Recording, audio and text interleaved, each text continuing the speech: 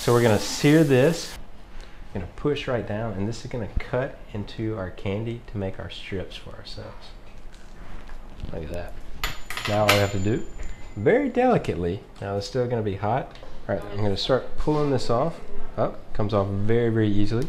I take this. Now we need to make a circle for the crown that we're making. All right, after we make this, what you'll do, you'll hold on the bottom and then you'll start pulling at the top. We're just gonna rotate this, go about every, I don't know, two fingers, three fingers, however you want. You see I'm holding near where I'm pinching? Wow, that was really, really country. And so what am I making?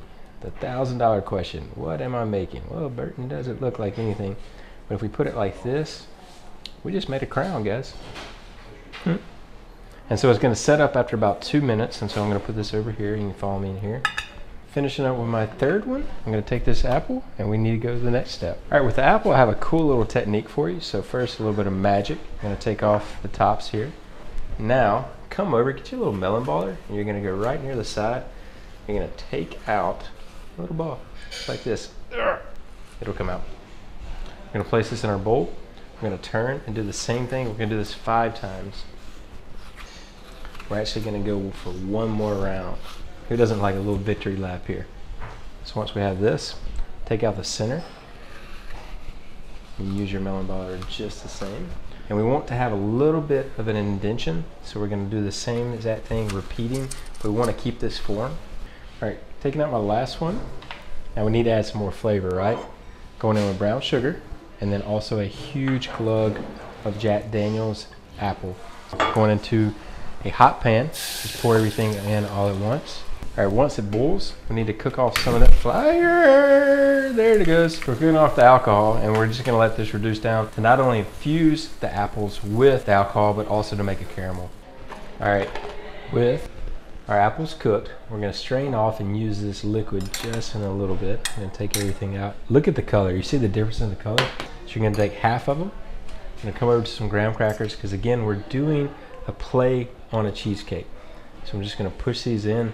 Look at the coloration. They got the whiskey in it. It's gonna be absolutely amazing. I'm gonna finish off there.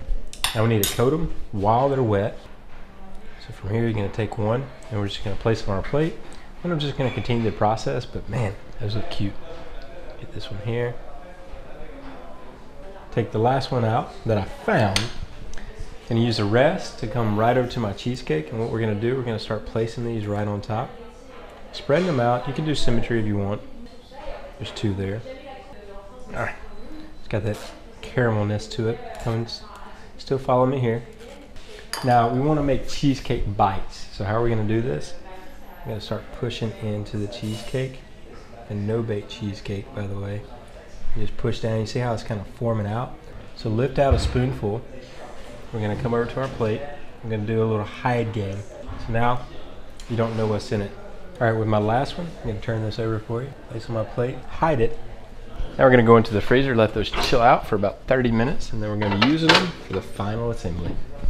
All right, with our cheesecake balls out, now it is time to do something really cool. I'm gonna use the leftover liquid, put in a little bit of sugar that we had from actually doing the apples. Look how look how good that looks. I'm gonna continue.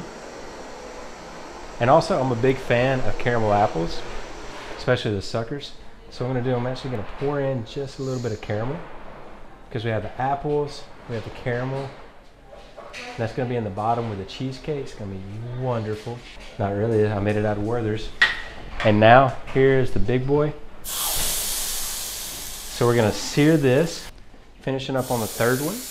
We're brulee in the top, and so it's kind of like a roasted apple, especially for fall, but we're doing it this summer. And so now the juices are gonna now fall into it. I'll lift this up. Oh, perfectly roasted.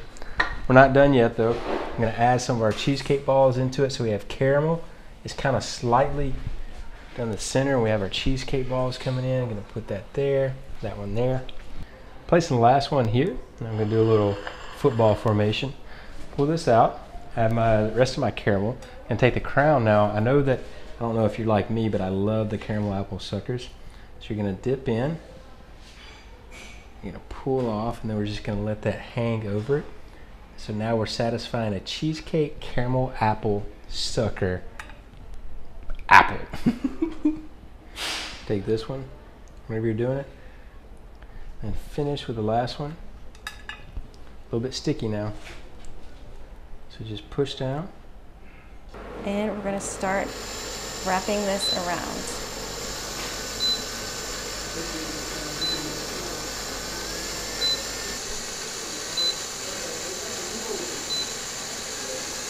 We just want to cover the whole roll.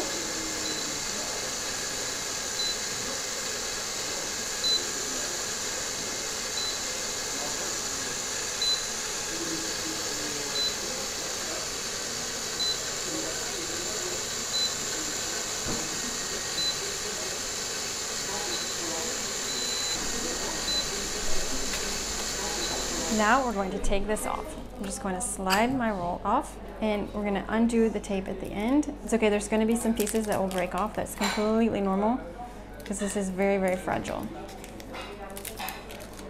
And we'll take the tape off on the other end. And now I'm just going to slowly slide this off of my roll.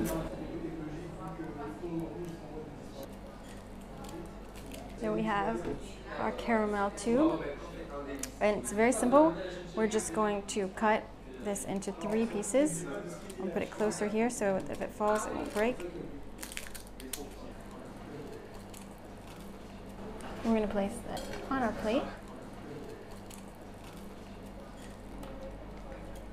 And now we're going to cut, continue cutting.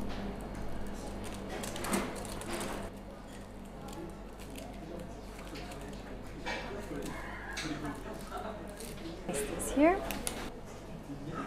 Place our apples here. Now I'm gonna start placing my dough into my mold. We're just gonna use our shot glass here, press that down. This is just a pie crust. We're gonna come and put our caramel in the bottom. And don't worry if it's a little bit off, it's gonna melt in the oven.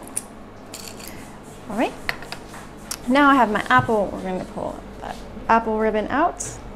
We're gonna lay this out and we're gonna start at the end and we're just gonna slowly roll this up. It's okay if there's a little break in there.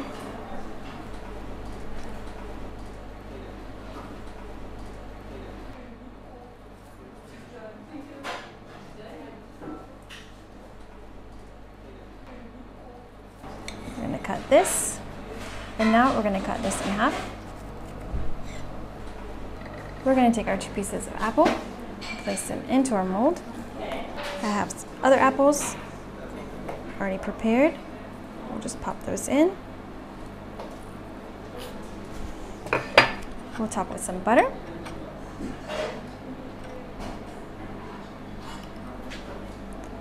And we'll take this to the oven.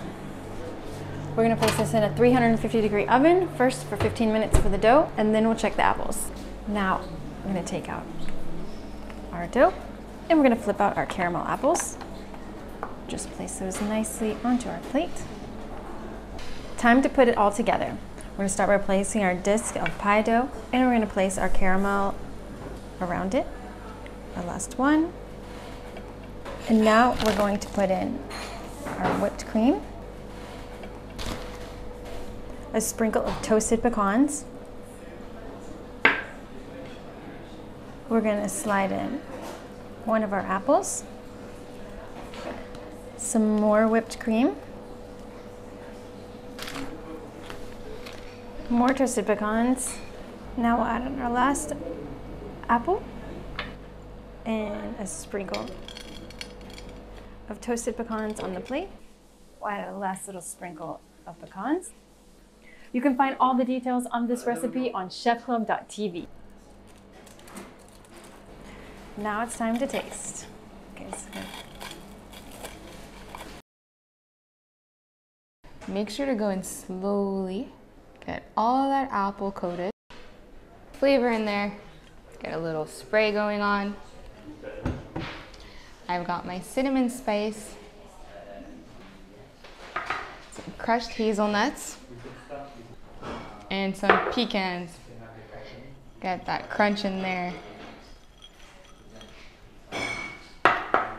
Now I've got my dough. I'm just gonna place it on here super nicely, just like that. We're gonna roll this just like that. We're gonna flip this over really nicely. Perfect. And to get in all of those flavors, you're just gonna roll one more time. Now I got my apples. Just gonna put that nicely.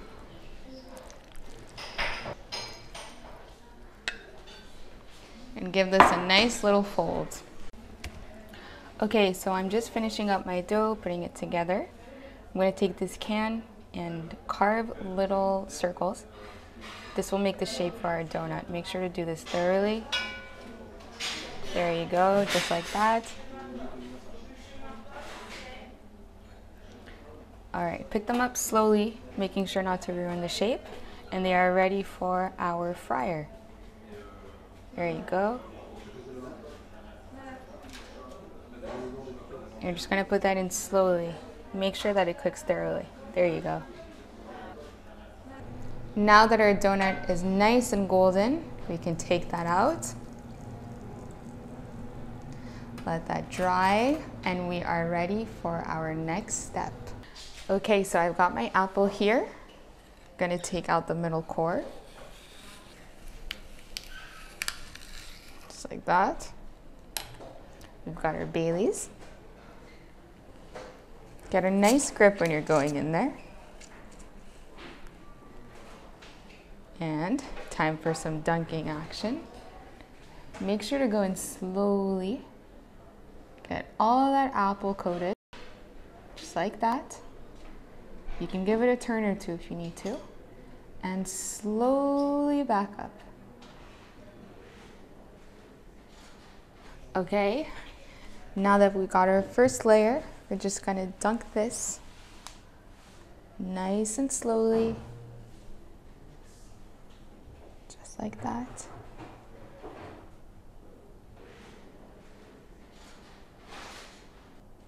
And bring that back.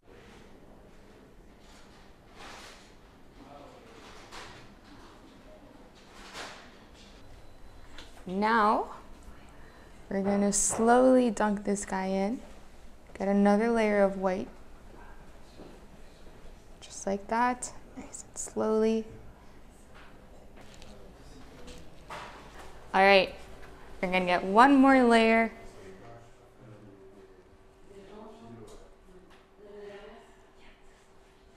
Nice and sturdy.